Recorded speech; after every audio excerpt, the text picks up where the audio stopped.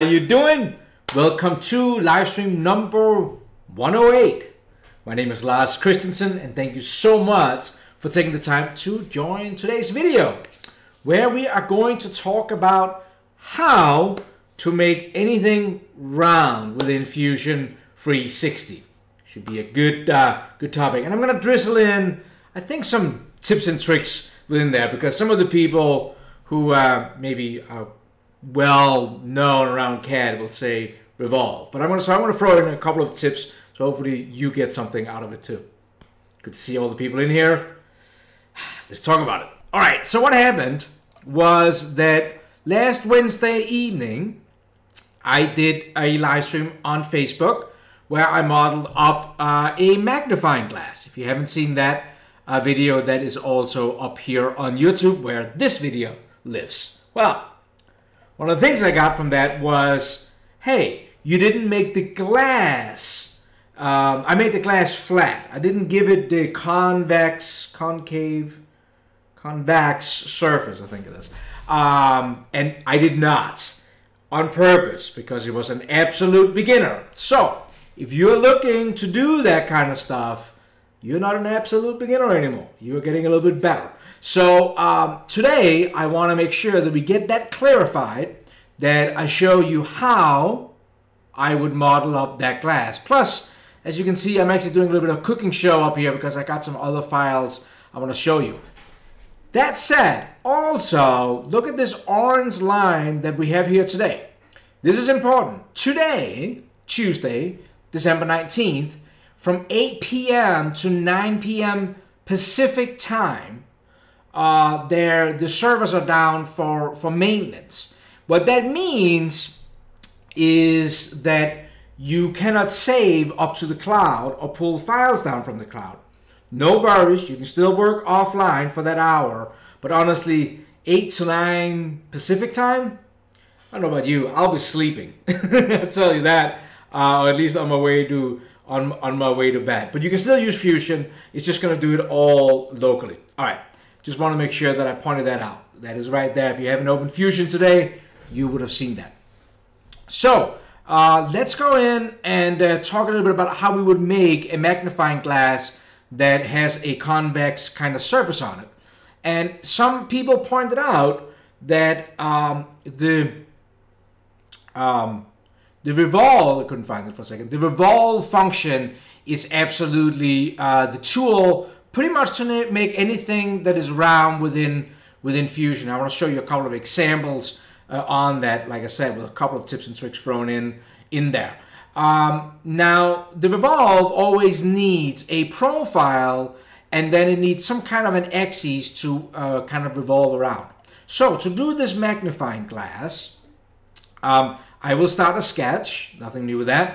I will select a, a plane to sketch on and I'm going to be a little lazy uh, with this. So I'm going to hit uh, alpha line and I'm just going to draw a vertical line up. They're kind of like going to be, this is going to be our, our axes that we're going to uh, revolve around. So that line going up there, whoops, uh, like that. And I'm also going to create, I'm going to just create a line that's going to be uh, vertical here, horizontal here, and that's going to be 40 and I can see that it turned blue because I never got it tied down. So let's give that a constraint right there. Oops I got the point selected. Horizontal right there. Okay. Um, and I also need a dimension on this one of course. I'm gonna make that 8 okay. So I got a line and a line. Then I'm gonna put in some kind of an arc.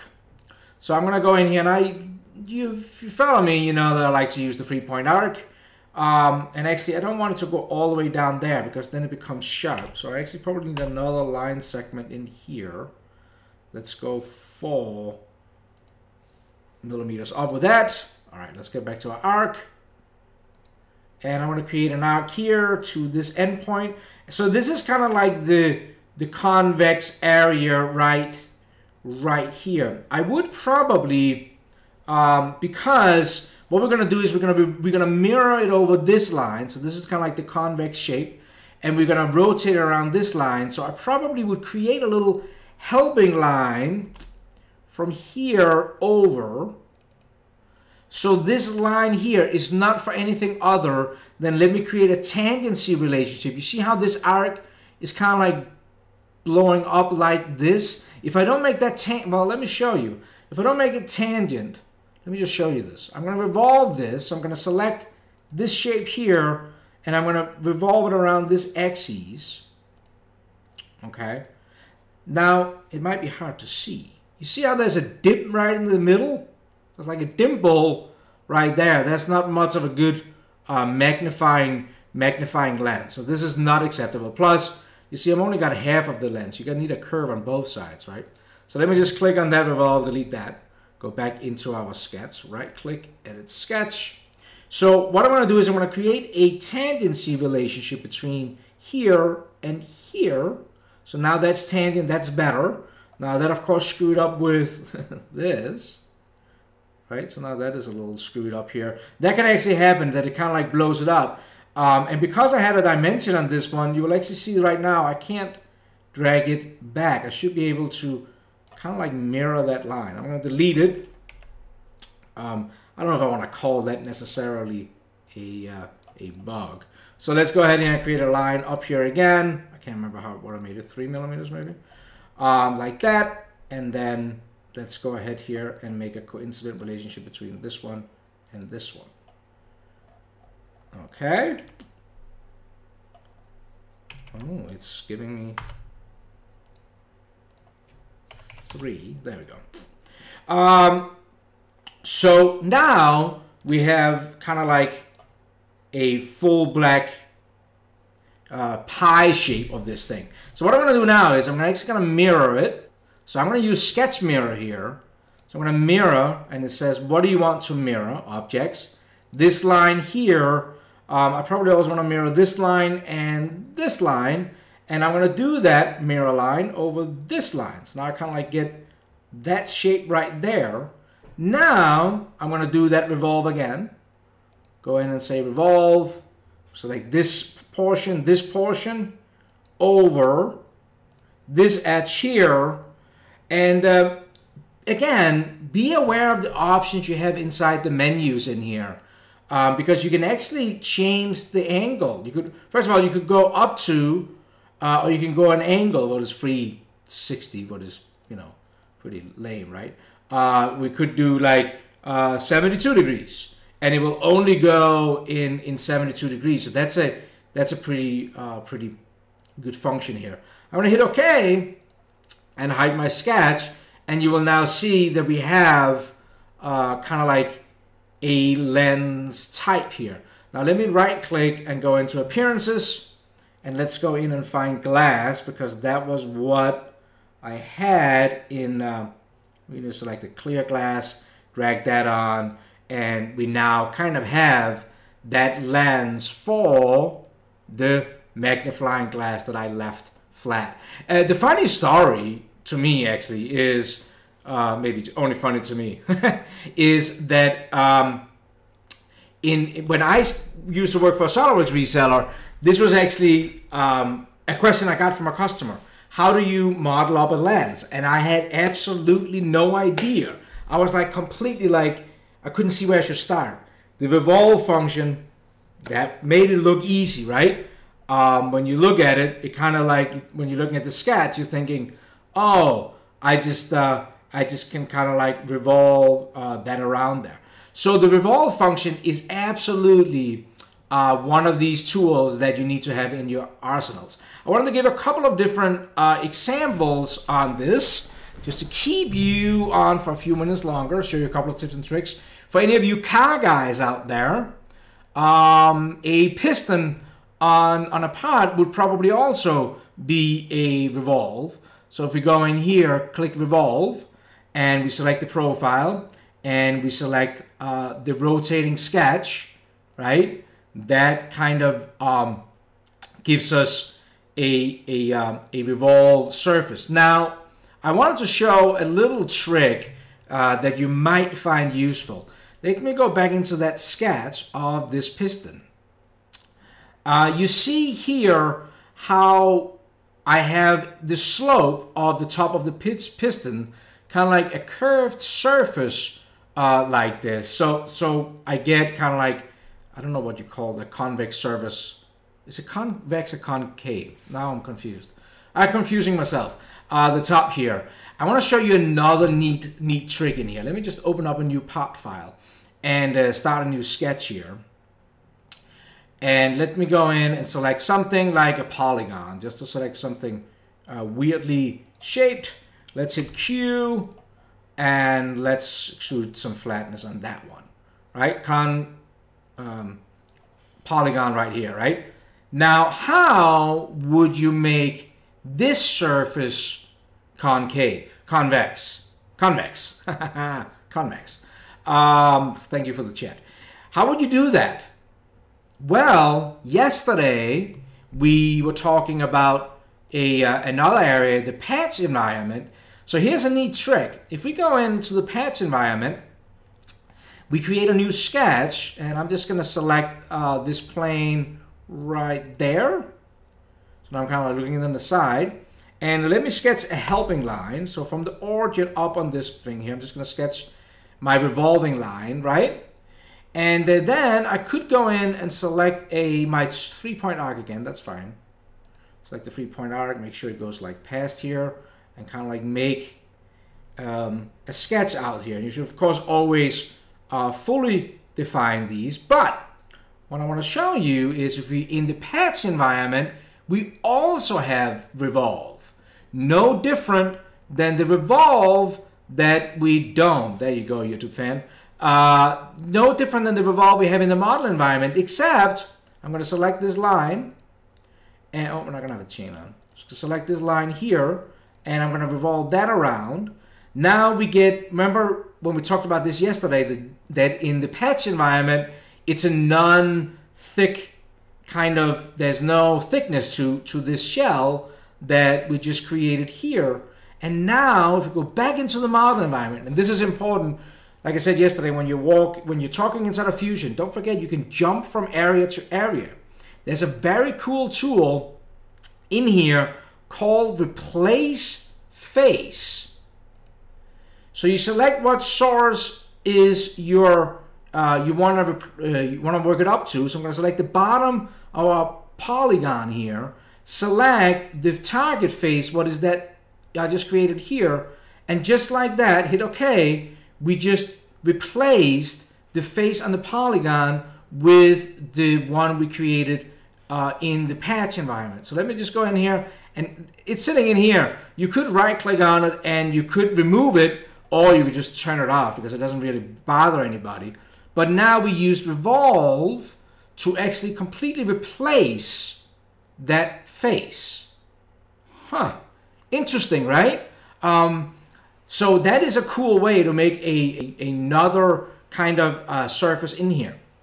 So that's definitely one of those tricks that I hope that you knew, that you didn't know, that you now know, that makes this add more value to your Fusion experience. Because that's really all I want to do, just add a little bit more value to you. Okay, uh, what about this one? A, I, I stole this from, from uh, Google. I pinged uh, a car rim. So what we have here is really just a line. And then I just kind of like roughly sketched, like really, really roughly. Let me just hide the canvas for a second. I really, I didn't even fully define this sketch. Uh, it looks kind of, I don't know, a reindeer with antlers. Nothing too cool about it. But if we go into our revolve tool, we select that and we select our axes then I think we have a pretty cool car rim. Maybe, somebody will say. Uh, maybe not. So, maybe need to do some more stuff to it, right? This is like an old American car rim, like chrome. Um, so, you know, again, something that that you would maybe think, how the heck do I go about creating a rim on a car that is very complex? Well, it is complex, I guess, if you have to make one. But in, in a modeling environment, it was really just um, a bunch of sketch line following and use uh, the revolve. The last one, just because I think that's kind of funny, uh, you know, what about a beer? Like I put in the description of this this video, look around you, everything, everything looks like it's round. This one here, no different. Uh, really just sketched a line down, kind of like follow the profile. Everything is line and arcs instead of this. This is a spline. Bunch of live streams talking about this in the past. Let's go in and uh, revolve that. So select this area here, select the axes, and there is uh, the beer bottle. Now at this point, it actually doesn't look like much of a beer bottle. Could right click, hit appearances, and there is actually green glass in here. Uh, but my experience is that uh, the glass, the glass actually, let's put the glass on it. It makes it hard because you, it's see-through now. And a normal beer bottle is so dark that it's not really see-through. So I actually would put paint on, but what you can do is you can right click and hit edit. And if you do that, you can actually start manipulating that green to get something that maybe is a little bit more to the color. Now, if you were rendering this, then you maybe would do the, the glass. But if you're just gonna show it like this, this uh, might be, um, be useful. Now, of course, this beer bottle is pretty useless. It doesn't have um, a hole in it.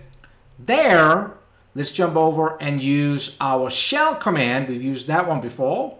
Select a face, and that will go, whatever face you're selecting will go away. Everything else is going to be shelled out. So I'm going to hit one millimeter, and everything gets shelled out in here. However, notice everything gets shelled out one millimeter uniformed, and though I want everything to be uniform, let me do a section view. Section analysis. Turn the origin on. Select here. Um, we want kind of like everything to be be uniform, but we know a beer bottle is not uniform in here, right? Like one millimeter, it gets just go straight up here. Here's a neat thing. Um, if you have never played with this, check this out. If I select this inner face here and I click delete on my keyboard, not that delete, Let's try to select this interface here. Delete that. You actually will remove uh, portions of this. Fusion will try to heal itself the best it can. See what order I'm selecting uh, this in. It actually makes it straight. Um, so that was just in what order I deleted it on on my keyboard. So I select the inner. Let's do. Can we do it with the analysis on? I didn't try that. So analysis is on. Let me select this inner ring here and hit delete on my keyboard.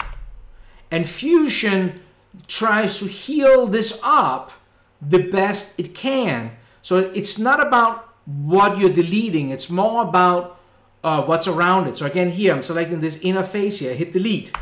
And you see how it kind of like straightens it up here. Now we are gonna have a thickness issue right here, but of course we could go in here and if you do select that face and you did a Q for press pull, then it's going to become an offset face.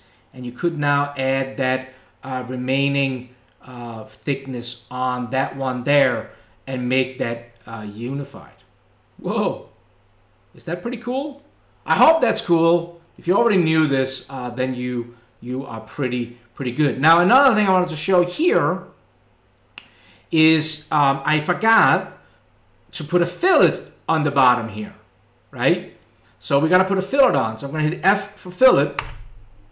And if I'm going too fast, I'm sorry. Uh, hit the fillet here and going to start here, put a fillet in.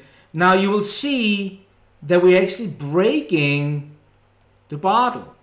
Because when that fillet becomes bigger than the one millimeter, um, the one millimeter shell command, right? We have that shell through there that fillet breaks that, well, what if we put the fillet before the shell command? So remember, you can grab down here in the tree. I can move back. Here's our shell command. I move past that. See how it's thick now?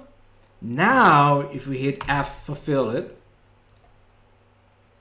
and drag this in and put the fillet on, right? Now the fillet lives before the shell happened. We move back again. Now there's no issue because now uh, when we do our section again, you will see that the fillet is now within here because it, it happened. So when it does the one millimeter offset, it's going to add that fillet in there, just like it is in uh, in real life. The last thing I want to do is this, just because why not, is go in here. Now, when we have done live streams in the past, you will see that we use a lot of attached canvas. Actually, if you look at the car rim, you will see that I have a canvas on it. That was what I used to kind of like sketch that whole thing up. If you look at the the Tuborg Danish beer here, you will see I also used a canvas for that. Well, the other option we have in here is decal. Decal is different than canvas. Canvas, as you can see kind of like on the pop-up menu, is created so you have something you can sketch over, where decal is like a sticker on the part. So if we go in here and hit decal, select the face for that decal, I'm to select this round face, select an image to do, Just give me one second, and of course I have a, uh, a Tuborg that I, I did a very rough job uh, stitching out of Photoshop. As you can see, I just used the poly, like the lines here, but we, you don't care. Uh, scale that up a little bit, something like that maybe. Um, and we now have kind of like that beer bottle. I should have cleaned it up a little bit better, but now we kind of like have that uh, on there as a as a sticker. And of course, you could now uh, go into uh, the render environment and, uh, and and model that up that was really what I was planning on kind of showing today. I hope I was not going too fast. But the Revolve, and we're actually going to use it again tomorrow, where tomorrow I'm going to show you the three ways that I model things up. And this is kind of like to help also closing the gap on the bodies versus component video we did last month, Monday, a week ago, something like that. So I hope that this was useful uh, kind of like remember the revolve. Anytime you see something round, think about if you don't want to revolve it. You just kind of like sketch half of it, make us an axis to revolve around, and uh, and that will do it. All right, folks. Hope that was useful. Hope that added a little bit of value. These are a couple of tips and tricks in there that you were not aware of, inspired you, or whatever. My email address, as usual is down in the description area. If you have any future topics you would like to see or suggest, more than welcome to shoot me an email. Um, really appreciate it. Gonna end it right here, 23 minutes. I think that is good for a Tuesday this close to Christmas. We got 122 people in here. It's absolutely awesome. You guys are the best. If you're watching the recording, thank you so much. If you're watching the live stream, I'm to jump into the chat and say hi to everybody. Take care, folks. See you tomorrow.